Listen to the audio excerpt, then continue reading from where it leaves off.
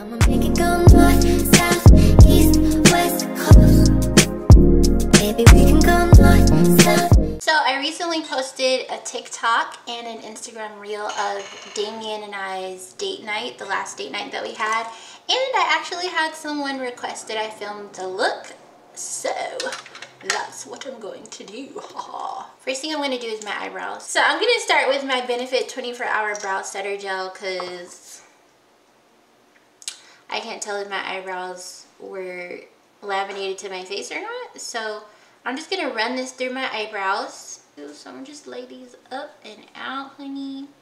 Now, even if you don't really want your eyebrows to be laying flat to your face, I do recommend this brow gel just because it stays on and I've never had issues with the product flaking on my eyebrows so we might as well keep it moving with the same brand right? Why not?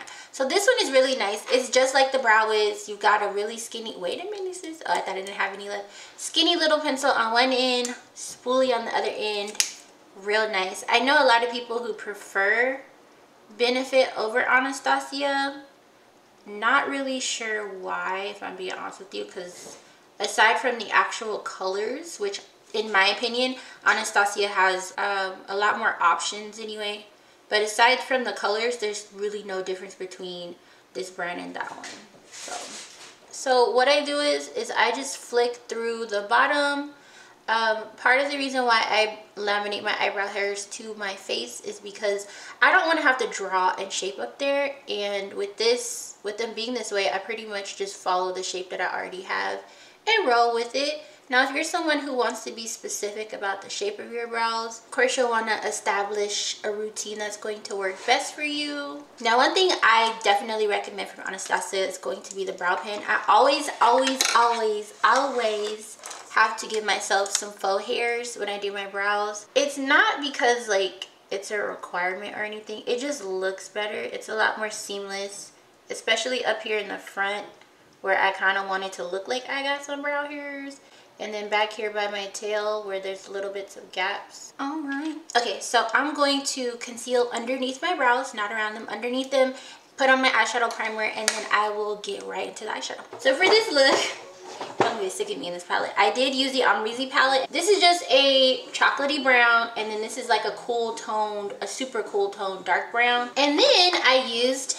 this palette. Now this palette is really really cool. This is the naked urban decay cyber palette this is what it looks like. This is the kind of palette that you buy when you want accent colors to go on top of your eyelids or in your inner corner or wherever you're putting them. We're going to be using two shades from this palette and that's going to be bite like megabyte and then override. So i'm going to use this makeup of the day cosmetics blending bestie brush. Just go right into yugo and i'm pressing it in so that i have less fallout if at all possible. You definitely don't want to be picking up more than what you need product wise but pick up enough for you to blend and work with. So I'm pressing it in, getting all that pigmentation that I want, and then I'm tapping out the edges so that they are soft enough to blend. Because if you start blending these edges before they get soft enough, you might wind up with a line of demarcation. And all that means is like a, a, line that you could see that's not blended out that might take you a little bit longer to blend out once you notice it tap out the edges. Oh my god i'm so hungry. And then i'm blending in the direction i want this to go. So i'm blending this out this way. And make sure that you know when you're initially blending the edges of your eyeshadow that you start with shorter strokes instead of longer strokes. Because if you start with longer strokes you'll wind up having that line again of demarcation. So i'm blending it out get my shape going all right then I'm gonna go ahead and bring the eyeshadow towards my inner corner like I want like right up in here for the most part yeah. And then wing wing wing. It sounds like I'm saying ring but, but with a list okay anyway do, do, do, do. blend it out once you get it as soft as you want it, you can do longer blending strokes just to get that gradient effect. And let me make sure I come up over here. you just want to make sure too that the color is even. I have a tendency to blow out this side more than this side. I think it's because I'm being more careful. This is the eye I usually take pictures of. So I guess I'm just being more careful with this eye and not mess it up. okay, so tap, tap, tap. And then blend it on out. For this one, I don't think I used the transition shade. I think I just went right into Bite. And this is a really pretty orange, so I just picked up a little bit of it because I suspected that it might be real pigmented. And what I did was I started in the middle here, and then I just blended it into the purpley brown.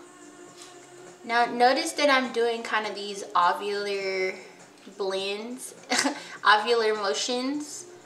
Not super circular, like not super tight, but just ovular. And I'm doing that because I want this color to blend into the purple, but I also want it to blend into my brow bone.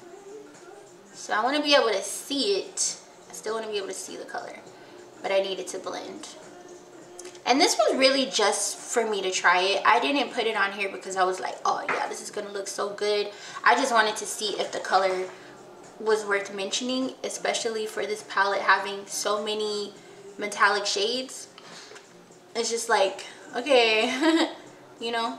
But it's a really, really pretty orange. And I just remember back in the day, well not back in the day, but I remember I used to always put orange in my crease because all of the eyeshadows that I used to use that were brown, they were so cool tone and I would always feel like I needed to add some warmth to them. So I would always use orange.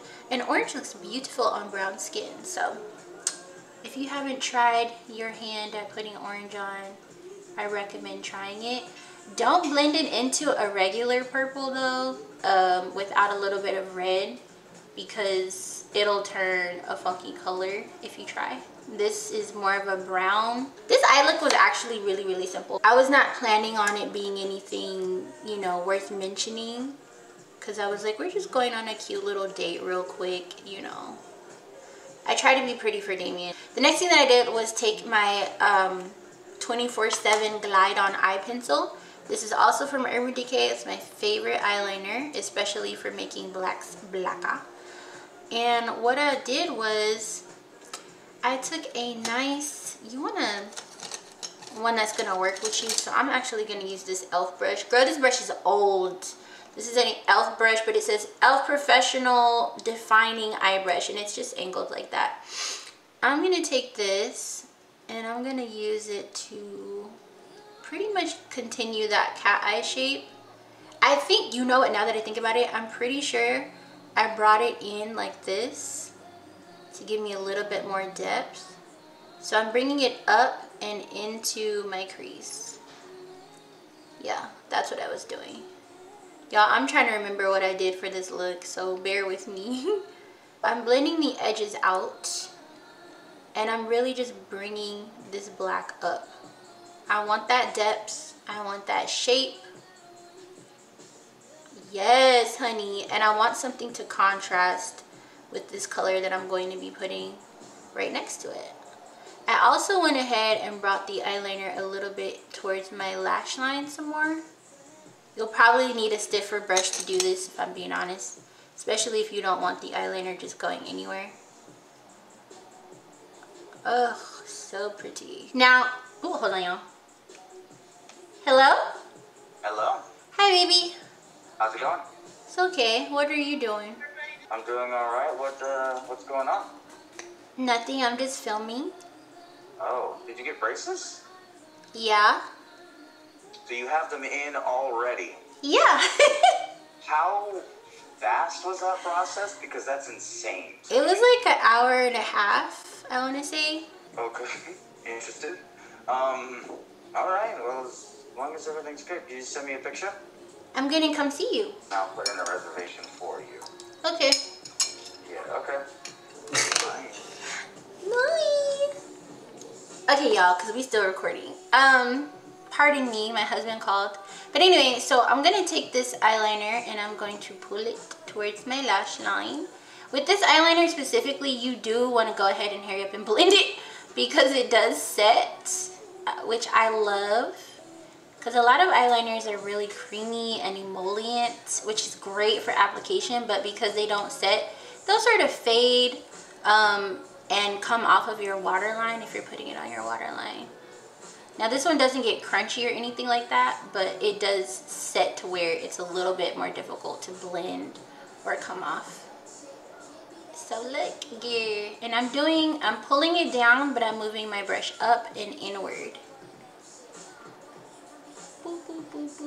Once you've got the black established, go ahead and take your blending brush again and just go over that area or the edges to soften them a little bit, especially if you're someone who likes to get into details or what have you. If you don't want there to be a line where your eyeliner will stop, this should help soften it for you.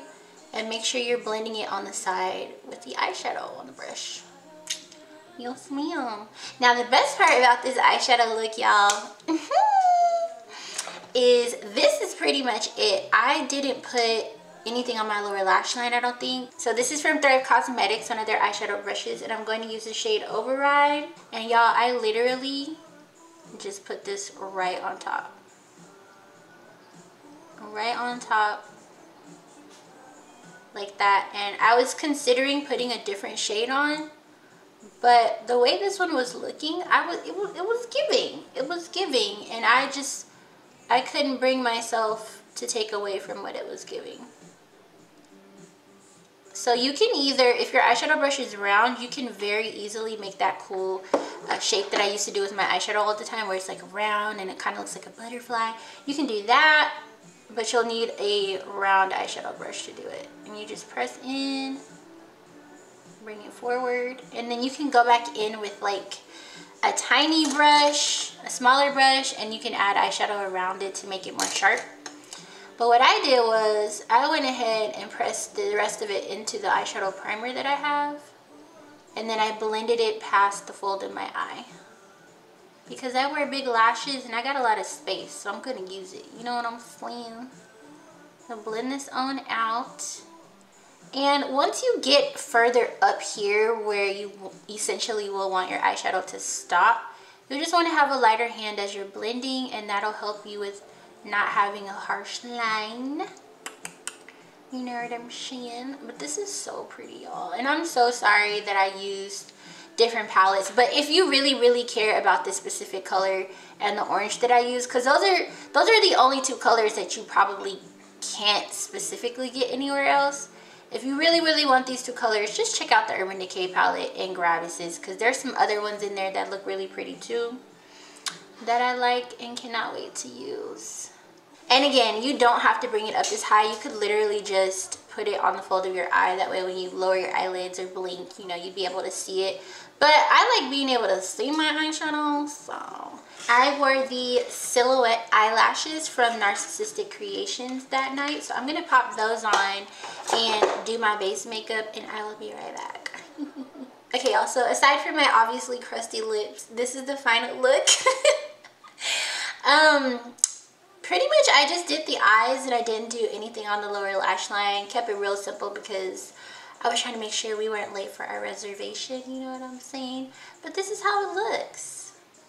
You know, real easy lemon squeezy. I think we only used three eyeshadows and one eyeliner. So like, you can do this, okay? And you can totally switch out the shimmering shade for any other color, including matte formulas for eyeshadows.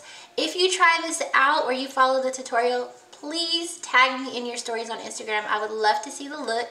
I do want to thank y'all for watching. Do not forget to thumbs up this video so more people like you can see us this period all right and drop any comments questions and concerns down below. Don't forget to make sure that you are subscribed even if you watch my videos all the time.